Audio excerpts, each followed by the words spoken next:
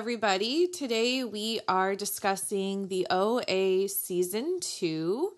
This is going to be a spoiler review um, that we are following up our season one review with.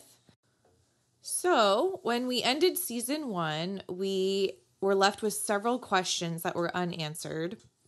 And the main question being whether or not Prairie's story about this alternate reality was real. And that we definitely get the answer to in this season. In fact, the entire season is mostly about the hopping between different dimensions and realities and seeing where Prairie ends up after she is shot. It's basically the season one is asking all the questions, season two is answering all the questions. And then also, season two decides to bring up a lot more questions so that we will stay tuned for season three. Yeah, so season two was basically answering a lot of the questions of season one. Season one was just like really structured really well, I thought, and it built up a lot of mystery. And there was that dynamic of is she telling the truth about her story? Is she having like some kind of delusion? Um, this season says no, that's it was all true, and we're just gonna freaking go for it, man.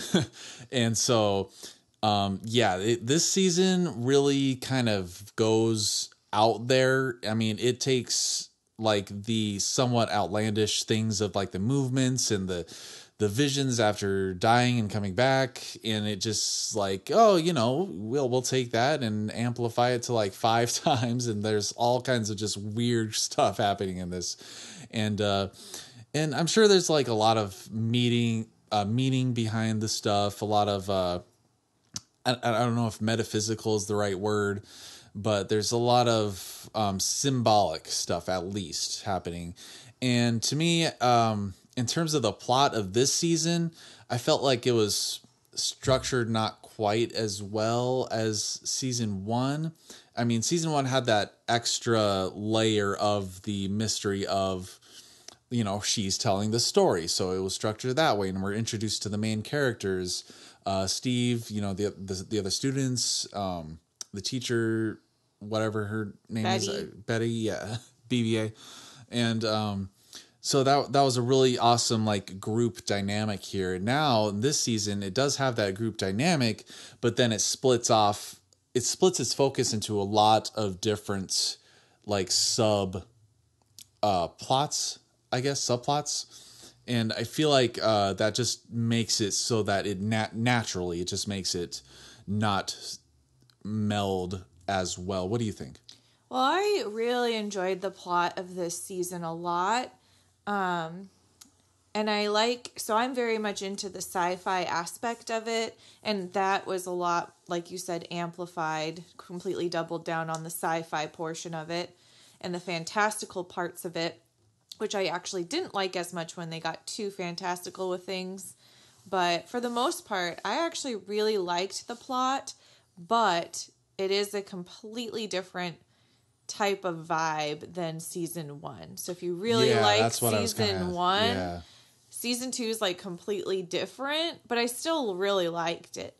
I liked that they answered all my questions because I felt like they were just going to leave them like unanswered because that some of the questions from season 1 seemed like thrown in there, but no, they went and they answered and they they did bring up more questions, but they it's making sense. Everything is making sense to me and I liked I really loved the ending of this season and how they like made everything. The whole time you're watching season two you're like none of this makes sense.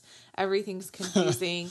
I don't know what's going on. And then the final episode everything kind of came together Yeah, it just kind of converges. and i thought it was really cool what they did with the ending for the most part Yeah, and I'm I'm glad you brought up. That's kind of what I was trying to get at was that it's like a completely different thing from season one.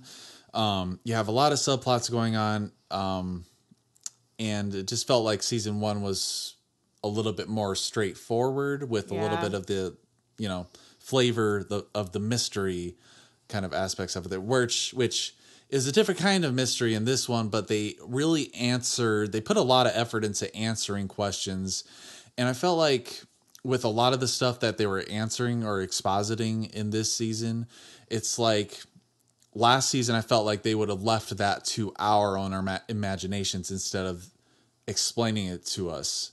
Like they would introduce some interesting or weird concept in this season, and then like right after they introduce it, they would kind of explain it to us. And I feel like some of those times it would have been a little bit better if they just left that up to us. But I don't know if it would have been as good if they did that. Well, this season was definitely a lot more convoluted, a lot more intricate. And so I think that made it so almost so they had to explain some stuff. Otherwise, Definitely. the story doesn't make sense. Um, what did you think of the addition of the new characters like Kareem? I like Kareem as a character, although I personally would have liked a little bit less focus on him. Yeah. Even though, you know, he's supposedly such an important character and you don't know why until the very end. yeah. But I, I kind of like the de- detective aspects of it and the, the, the trying to find Michelle, aka Buck. Um, Yeah. So that was intriguing. I, I did felt feel like it didn't need to take up as much time. I would have liked to focus on the original group a little bit more. Yeah, the original group got a little a little bit too um didn't have enough focus Yeah, not as much screen season. time. Not as much screen time, but the screen time they had was good. The bonding between them. yeah, and that was that was actually some of my favorite portions of the season because you know that's those are the original characters that you were in. You were in that on that journey with them in the first season, and now you're on this journey, both uh, character development wise and physically as they try to journey and try to figure out what to do. And what's interesting is that their whole story, their whole group, they have to base everything they're doing on faith Yeah. Because they don't really know for sure what happened. And that's where french comes in and he's this like the skeptic. And now it's interesting with steve's development. Now he's Yeah. like the full on he knows that this is right that he knows he has 100% faith. Well, I think that interesting part of the story is their group, and they're the ones who needed the story. They needed Prairie's story, and they needed to have that like faith and that camaraderie, something to believe in, because they didn't. They were all like troubled kids and didn't have that before.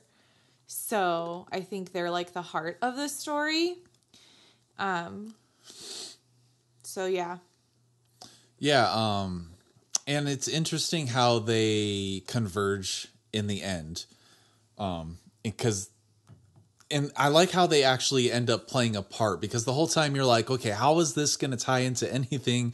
Yeah. They're trying to transport this me- mirror and they have a whole side plot of going to the freaking Goodwill to get the mirror. and and then it breaks. Couldn't have called that. That was it's a mirror. Yeah. And it's a special mirror that they're trying to keep safe. It's going to break. Yeah. My favorite portions of the season were definitely like um the house, like them figuring out the house. I liked how trippy that house was. Yeah. The whole time I couldn't figure out what the house had to do with anything until the very end. You kind of come to understand that the house is kind of like a portal. And then I liked how they explained like when you're how like they're these characters are connected throughout all their dimensions basically. So like it doesn't really matter what dimension they jump to, they're like going to be connected. Yeah, in some way, shape, or form, or at least like this cluster of dimensions. Because I forget who who mentioned it. There was one character who mentions if you jump outside this cluster of dimensions, it's very dangerous because you could jump into like I don't know a dead dead body or comatose body or something like that. But um, that's very interesting, and that kind of leads into the fact that all of the characters that were in Hap's basement are now still his prisoners in the mental institution. And I guess that kind of makes sense in a way.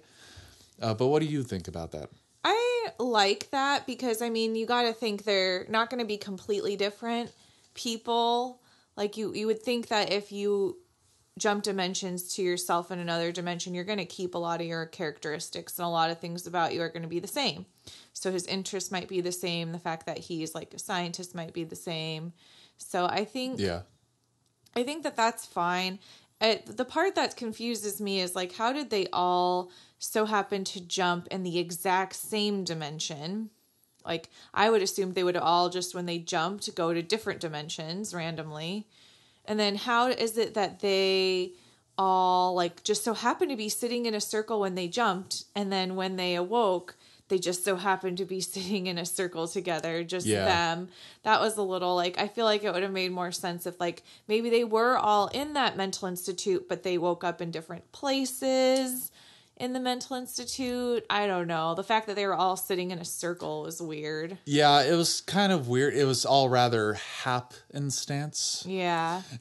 but uh, yeah, it was it was kind of weird, but I think it added a lot of drama and tension, especially to that scene where they were flashing back and he was going and he like gave them that poison Yeah. when they were in the field and then they did the movements and stuff. I thought that was freaking awesome, man. That Um, was really cool. But th- again, they could have all just woken up in the second dimension and not have been sitting in a circle. Yeah, I Because mean that was weird. it was weird and doesn't make like 100% sense, but I mean it's not too far fetched for me personally because I'll take the tension filled drama of that scene over them just like waking up in separate areas, I guess. Or what they could have done is like they do wake up in separate areas, but then uh ah, what's his name? The the drug addict guy. Scott. Scott, he realizes what's happening and then he sees Hap from like across the room or something like Yeah. that. And then he attacks him instead of Yeah. just them being in that group and only them. Well, I thought it, the whole time I, I thought it was interesting what they did with Homer's character. I was like, I bet Homer didn't jump, or Homer jumped to a different dimension, and this is a completely different Homer. Oh, I'm so glad that they did that because I think it, that plot line would have been somewhat stale if all of them just yeah, realized who they are and stuff like that. Homer added like uh, yet an, if this season didn't have enough layers to it, Homer was like yet another layer to that plot line. Well, I love that was one of my favorite plot points at the end how Elodie explains that you have to like accept both of your both of your personalities. The other one is still in there. The other oh, person is yeah. still in mm-hmm. you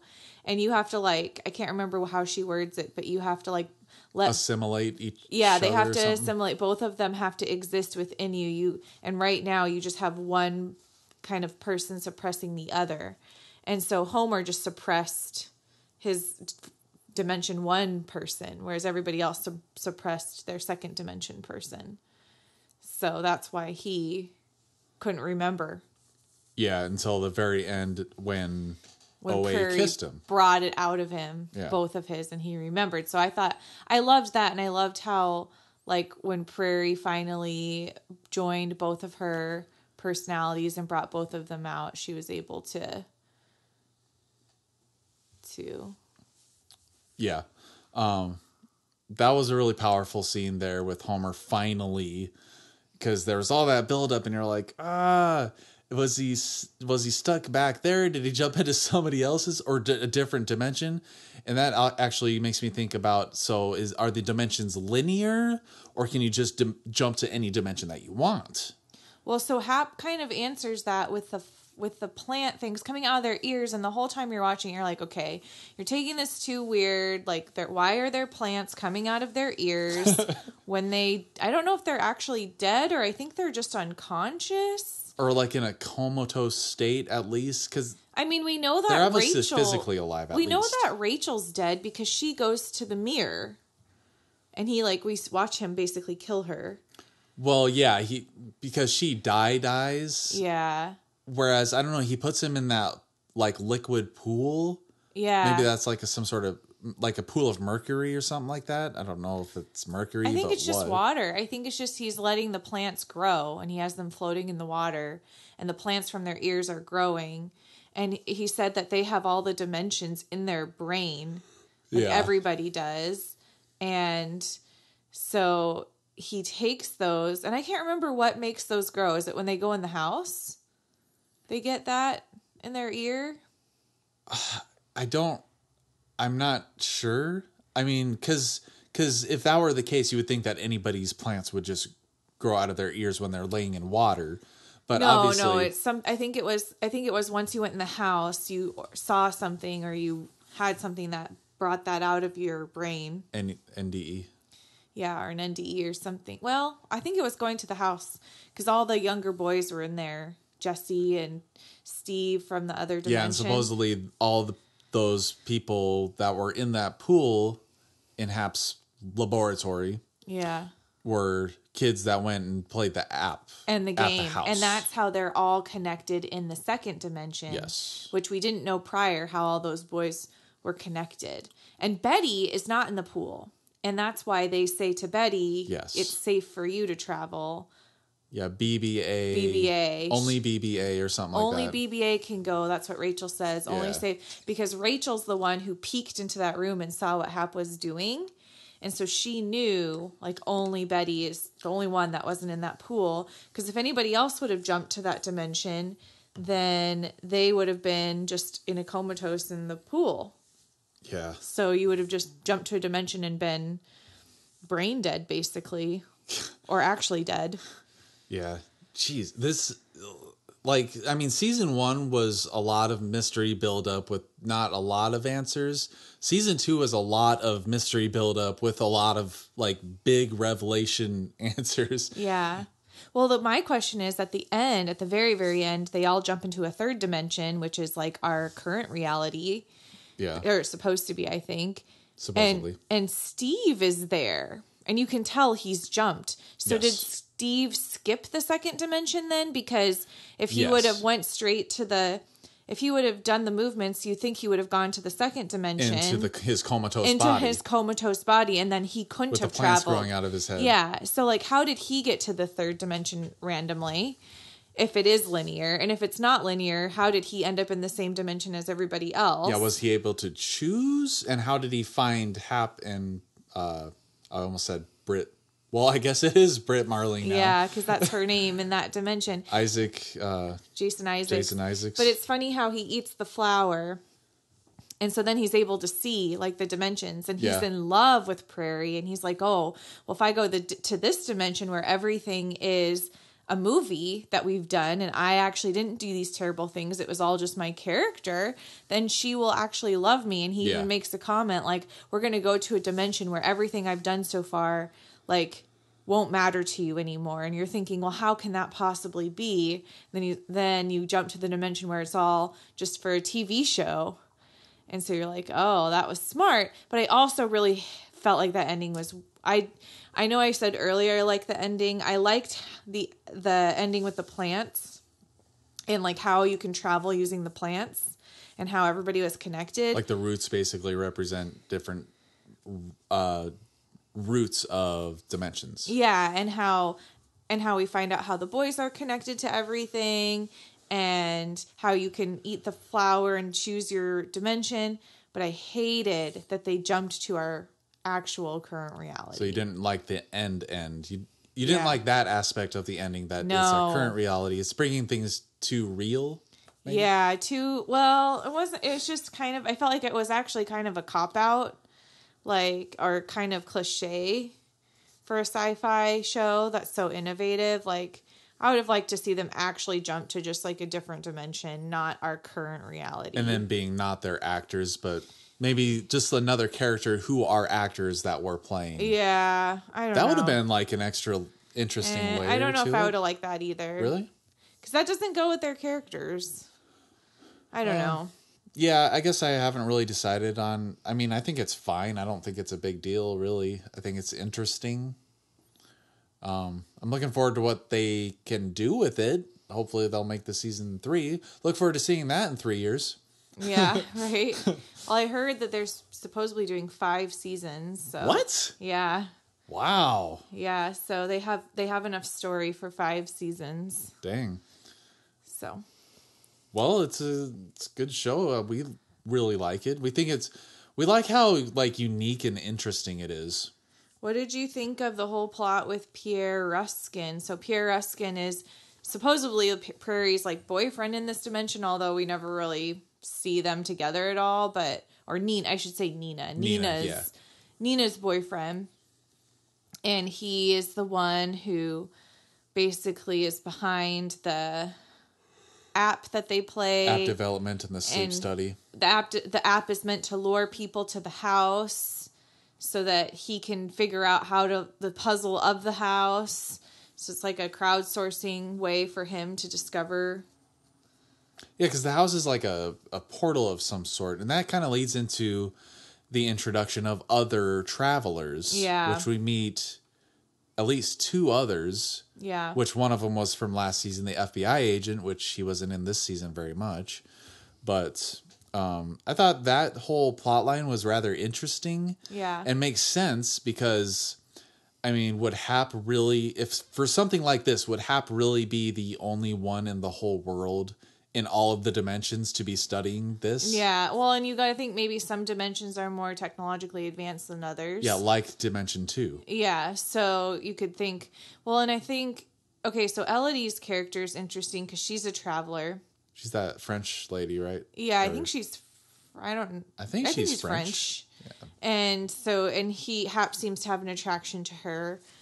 And she uses the boxes to, or she uses the like robots to, Yeah, the, to do the movements. to do the movements. It's just kind of weird, but I, felt like that was kind of dumb because it, uh, to me, it, it, it feels like it kind of takes away some of the spiritual aspects of it. Yeah. Because like they're robots, they don't have. They're just like metal. yeah. Like how are they emanating any kind of energy to do anything? They're just displacing the air, basically. Yeah, I can see that, but at the same time, you got to think, okay, in her world, traveling is becoming a little bit more of a normal thing, and so they're making newer ways to do it. But she travels to another dimension in front of Hap, and then her body just collapses to the ground. And then she travels back. We think we should travel back because later we see her talking to Prairie Yeah. in that in that um dimension two In so the in the Russian club. yeah so it's like okay did she travel back how did she get back to her body so did so maybe you don't die when you travel which makes me think because prairie gets shot the same time she travels Yeah. was that just a coincidence and then hap put that like deadly serum in everybody when they all traveled so they're dead and prairie's dead. But do you have to die because when you travel? Because it seems like elodie didn't die. And then it seems like michelle is also in a comatose state. So she's she, we think she traveled right? She traveled into the current reality. Through the house because she the like house. sol- solved the app or She solved the app. house. And then i think she went through the portal and so her through the window. through the window yeah because he had that video yeah and so her. now she's buck or the actor who plays buck. Yes. And but she's also herself from that other dimension too. So when she sees kareem in the window she like goes back like almost tries to go back i think like realizing that it's all real. She's not just an actress or he or she. I guess i should say he. Yeah. He is not just an act well yeah. He's just not an actor yeah so well it's michelle in dimension two yeah it's So a michelle she in, in Dim- dimension two she I in guess. dimension two and then a he in dimension then, three yes. in dimension one and three is Buck. Buck. Yeah. Well, but then in Dimension Three, Buck is actually the actor who plays Buck, so it like gets really Still complicated. yeah, still a he. So, um, but yeah, so Michelle seems to be in a comatose state, and then Elodie seemed to be in a comatose. So maybe you don't die when you travel necessarily. I don't know. They didn't quite answer that. Well, it depends on how you travel. Like, because Elodie does say there's multiple ways of traveling. So she obviously does the robot movements to travel. Uh, Prairie and the Haps prisoners die to travel. But I don't think they had to die. They didn't have to die. Hap put the serum in them to force them to travel. Well, they just ended up dying afterwards. Well, yeah, like otherwise, he was like basically, if you don't travel, you'll die. So you have to travel or die. And then Prairie Yeah. just got shot coincidentally. So she's the only one who really died coincidentally. So Yeah. if she if they did the movements, she probably would have traveled Yeah, like they without just dying and just fell down to a coma or something. yeah, that like Elodie did, I think. Yeah. And so, um, that's another question that's like do you die when you travel or what happens to your body when you travel to a new body because it seems like when you go to a new body you have to like converge your two identities instead of like yeah, replacing your identity That's interesting too. So when so it, when it's Nina and Prairie, which one travels or do they both travel to the new body? yeah there i would think they would both because once you assimilate your two identities you can't like separate them i would think Yeah. because then yeah i, I feel like you couldn't separate them Or or perhaps I I don't remember it entirely, but perhaps um when Prairie brought Nina to the surface, they're basically just opening themselves up to each other and sharing each other's memories, but still they're still two distinct people in one Like- body? yeah spirits or or uh, consciousnesses in the one body. So Yeah. when prairie traveled to the dimension three it was actually prairie and nina's still there. Oh actually because Ni- nina prairie was floating way up there and then Yeah. when she traveled she just fell like she did in dimension three so she might be dead yeah we don't know in dimension two now Well, and since Hap never assimilated his two personalities, when he traveled, did he completely lose his personality from Dimension 2? Or maybe his body didn't collapse at all from Dimension 2 because his um, second personality was never. like snapped back into Yeah, was. I don't know. like where where the hell am I now? Yeah. Why is there this? And uh, he just shot Homer. He's like, did I just shoot this dude? Yeah. So I don't know. And then, yeah. And also, they were doing the movements. So, do you think Homer traveled, or do you think Homer's dead? I think Homer, both. I think he traveled into the third dimension. But So, then you I think, think his consciousness is still In the- alive, but his Yeah. body in I think his is body in Dimension 2 is dead. dead. Dang man, so Homer's two bodies have died now. Yeah. What did you think of? So I know one controversial part that I didn't really care for either was the octopus and the talking or whispering tree. that stuff um yeah that stuff i felt like it would have been fine if there was more to me i needed a little bit more lead up to that kind of fantastical of a thing just Yeah. they're just i mean obviously she's getting ready for some show she's like the headliner of a she's a popular at that club for some reason and you see the suction cup markings on her wrists Yeah. or for her forearms and you're wondering what they are and then all of a sudden boom giant squid and and then you're like what the hell is this? And it's a giant cg squid and it's like all like erotically touching her and and then it just starts talking. It's like i am. Azo, azathoth azaroth or Can't remember azrael uh, some with an a. And I get that like Old she's an angel and so in the and the octopus is supposed to represent like the angel of death and I think the tree is probably supposed to represent some sort of spirit spirit. yeah like i said there's a lot of symbolic representation kind of stuff and you can Yeah. tell But we, we I just don't just- know it, I felt like it took it a little too fantastical, and I feel like they should just like, kind of leave us wondering if she's an angel or not. And I felt like that was a little too much, a little too weird. I think. I don't know if that really amounted to anything. I, Well, so like, was it really worth putting in the show at all? I almost feel like the only reason the octopus and the talking tree were in the show is to set up for the next season. Like they clearly have a plan. They clearly have like somewhere they're going with this fantastical piece. And like um Old Night showed her like on a plane. And I'm pretty sure it's her, although we don't see her face. She sees herself sitting on a plane with the short hair, which makes me think it's the current. He's like giving her a glimpse of the third reality Okay. or the third dimension that they're in now. Um, but you know, so she gets a glimpse of that. But I'm and I think so I think all that stuff is like things that they wanted to leave open for the next season, leave us wondering about. But I don't know. there wasn't enough b- build up to it. It, Yeah. it felt too sudden, I guess, with that kind of thing. And and they explain that she has the ability to, you know, speak with nature and whatnot. And uh, what does what does Old Night say about how he talks to his friends in the ocean, and about I like how how long has he been in that tank? Do they does he come up and say, "Hey, Russian guys, I'm ready for my show now," in the ocean, and then they take him there, or is he?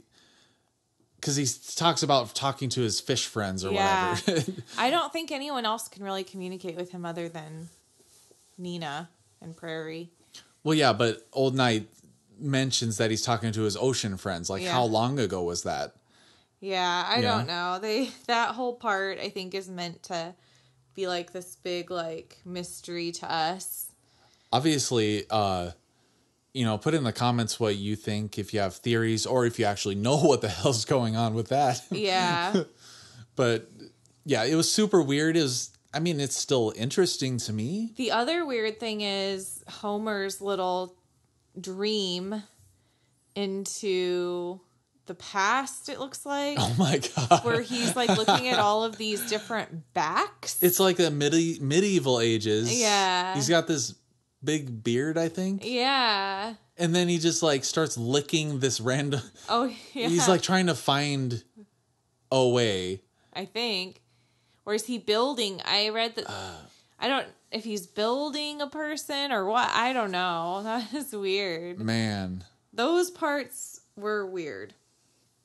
talk about shoving a lot of symbolic stuff into this man um but yeah uh speaking of I, th- I think homer was one of the more interesting characters in this because he had that extra dynamic of being like under the consciousness of the original person that was there Yeah. and then his whole thing of finally coming out of it and uh what's her face being the one to finally help him come out of that and she just happened to be right in the right place at the right time to bring him back to the surface um uh to help him get through the elevator door Yeah. you know i forgot her name Nina? no the the black hair Oh. um Renata. yeah because hap was like oh it was all a dream it's all fake and he like convinced her of that but then after that you know she finally came to the realization that oh no it wasn't a dream and you know Yeah. lots of good stuff. But um i think definitely my favorite stuff was the original character stuff. I think that's like you said that's where the heart of, of it was. And like when jesse died that was like super sad.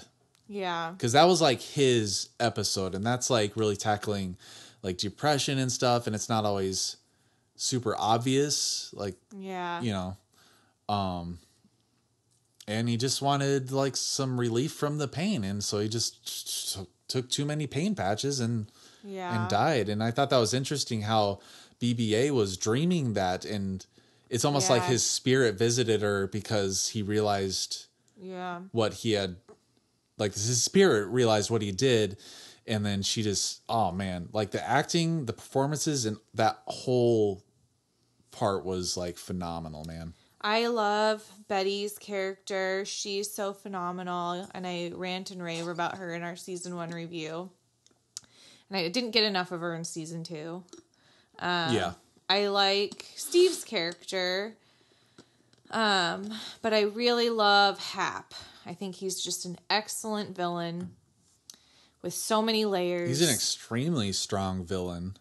And he's just so like there's points where you're like is he gonna turn good? Like there's points where you think he's gonna like and like even there's parts where like he like lets scott go well kind of. He says okay like in this dimension i'm happy with what i'm doing. Like you can be free now. And then i kind of think that was 100% a trick yeah i don't know because he wanted the plant he wanted to get him Yeah. for the plant which is weird because in that scene he's like having him crawl through this tunnel and then he just kind of collapses yeah And then the next right. time we see him, he's extracting the plant. How did Hap get but there's to him still and get him back? there's always like it Hap does so many evil things, and I'm always thinking still that he's going to turn good. I don't know why because he's just so like such a layered villain.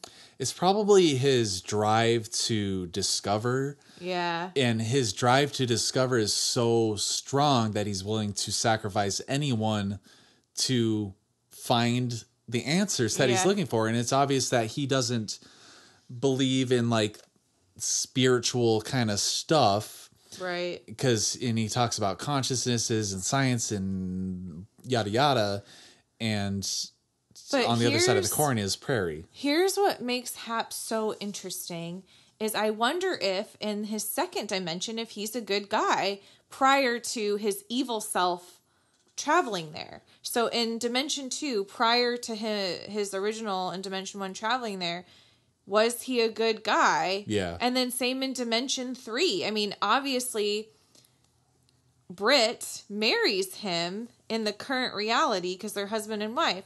So you're like, okay, so maybe he's a good guy in all of his other dimensions except for that one.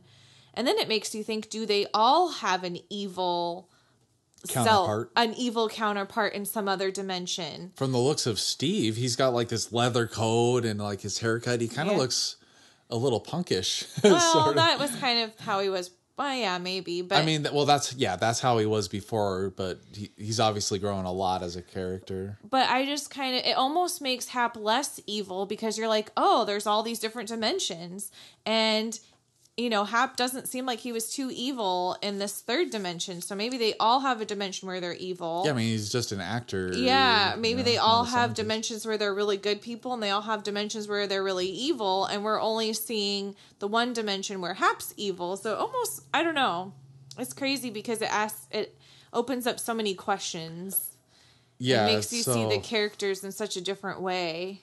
And the door is wide open. They can go so many different directions from here Yeah. um, with how it's written. Speaking of the door, thank you for answering the question about Oh yeah, why the doors had to be open. I don't know how Prairie knew that when she said she's it. the OA, but she knew the doors needed to stay open. so their spirits can come in and possess mirrors. Yeah.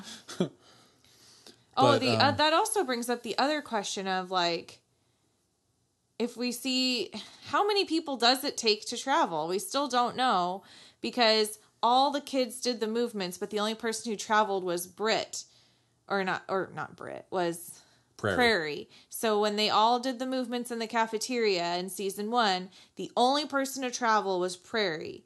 But later on, when um they all do the movements in the field, all of the you know All of them traveled. They all travel with Hap. They yeah. all traveled.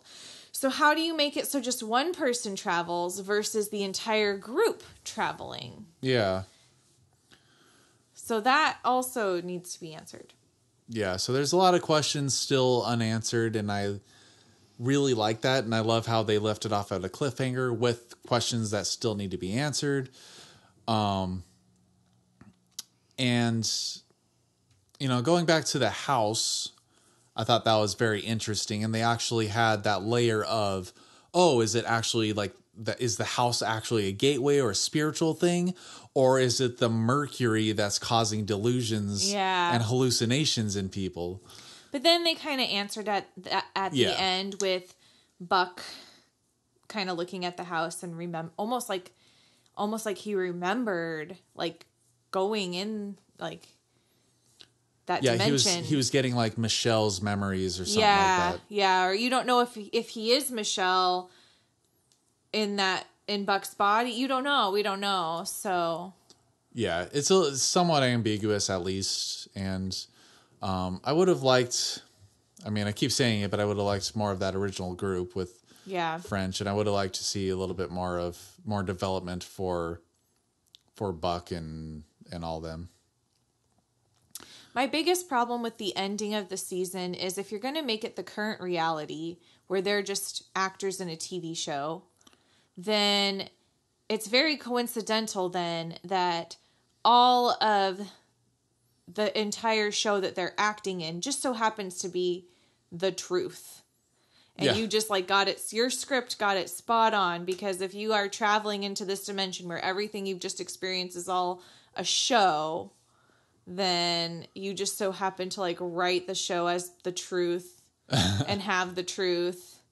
And so Yeah, that's just kind of crazy. it's like too far fetched. I wonder if they'll clarify that too, and I wonder if they'll actually delve into the actual show that they're filming in Dimension Three and see if it has any differences or if it's like exact. You know, It's exactly the same. They somehow subconsciously know what all their other dimensions like have shown them and they're making a show about it. and then they'll have Karim like trying to investigate this kid's disappearance and. Yeah. And oh, speaking of Karim, he kept having that uh, vision of himself falling off a cliff.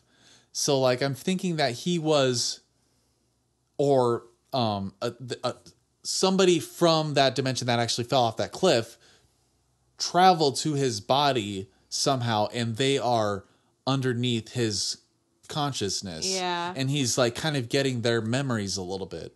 So that's like another question well, that that's could the be same answered thing with like the dream that Homer had. with about the fish, where he no, eats the fish. no, about the backs. Oh, oh like yeah. maybe he's already traveled to that body and he's having memories from previous dimensions or something. I man, don't know. so much freaking stuff, man. So much stuff in only eight episodes. Yeah. Well, overall, It's like lucky it wasn't a complete, you know, cluster F. Because like with all the stuff that they did in this, it actually turned out pretty good. I yeah, think. I don't mind it with all the characters and all the stuff they threw in. yeah. Overall, I would give the sh- the show a really high score. I really enjoyed it. I'm looking forward to season three. Um, I feel like though the seasons are just going to get more fantastical and more fantastical Yeah, I as hope the they. seasons go on. Ah, I hope they just don't go off into outer space too much, or at least if they do, at least build up to it properly. Um, yeah, Also, I hope we see more of the FBI agent because he came in for like ten minutes. yeah, He's like, ah, I'm I'm a pretty big actor now, so yeah. I was in Nightcrawler with Jake Gyllenhaal, but um, but yeah, he we answered his question too, and the books, the books are answered. I mean, they pre- pretty much look at the camera and tell the audience that the Yeah. oh, we bought those on Amazon. I mean, I feel like we already figured out the books, so I didn't feel like they needed to answer pretty that. much, but pretty much, yeah. Um, but I hope we see more of him and get more answers for how the other travelers do their stuff and all Yeah. that. So, I mean, it kind of seems like that's where this is headed. And the cliffhanger that they left off at the end of the season, boom, Steve just catches up to the ambulance Yep. and just hops right in somehow. um, which is interesting because at the end of the last season, he was running after Prairie's ambulance. Yep. And this time he catches up to it. Yep. That's interesting. So, um, yeah, I think that's a, that about wraps it up. Yeah. So overall, fine. Like overall, I would give it a really high score. Yeah, very enjoyable. I think I did like uh, season one a little bit more just because of how it was structured, just my Yeah. personal taste, but Yeah, me too. still Just really slightly. good. Still really interesting and very interesting concepts and Yeah. um, really interesting imagery too. Just put that out there. But yeah, if uh, y'all have anything to add, put it down in the comments. And uh, thanks a lot for listening and take it easy.